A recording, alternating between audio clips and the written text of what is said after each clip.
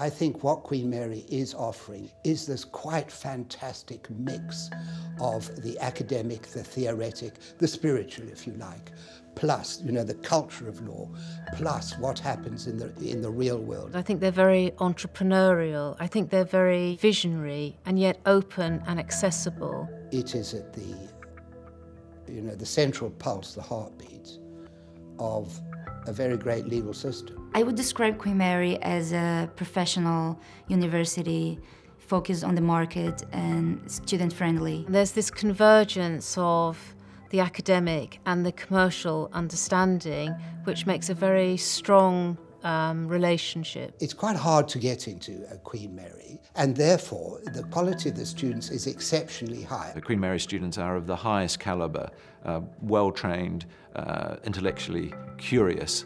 Uh, and uh, very interesting to talk to. When I think of the students of Queen Mary, I think of very bright people, good fun, and very focused. The quality that the students at Queen Mary have is from their international backgrounds. They understand how people may approach an issue differently depending on their own culture, their, their own legal background. They've got that get up and go to look at the world beyond the, the local town, village or city where they, they grew up. I think that the uh, professorial staff at Queen Mary are excellent and certainly world class, but they also have people like me who can come in who, whose day job is to be uh, an advocate, uh, to be a lawyer, uh, and to be an arbitrator and to contribute in that way. For them to have out, outside speakers who are who know the college, who know the students, to come in and give particular lectures, I think is, is a very valuable part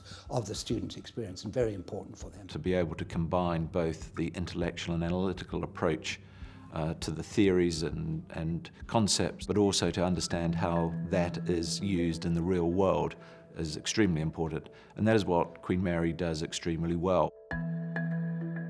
Over the years, we've recruited some really top-rate lawyers from Queen Mary, and we thought that it would be the right thing to do to put something back into Queen Mary to say thank you. When I've heard of the Preiskel competition, I was very excited because I wanted to get into a law firm and see how the work was done. The name of the competition is the Preiskel & Co.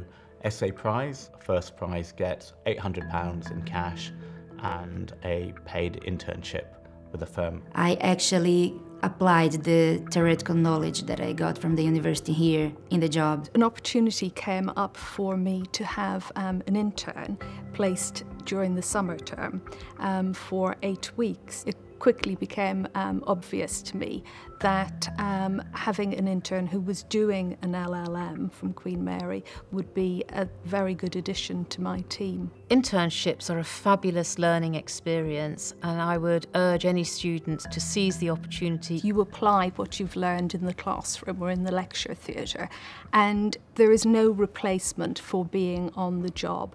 Seeing the the areas that you have studied in depth, how they are applied on a day-to-day -day basis. Now, in terms of recruiting junior lawyers, we probably have to think twice before recruiting someone who didn't come through the Queen Mary setup. I would like to think that we are going to have a very long and continuing relationship with Queen Mary.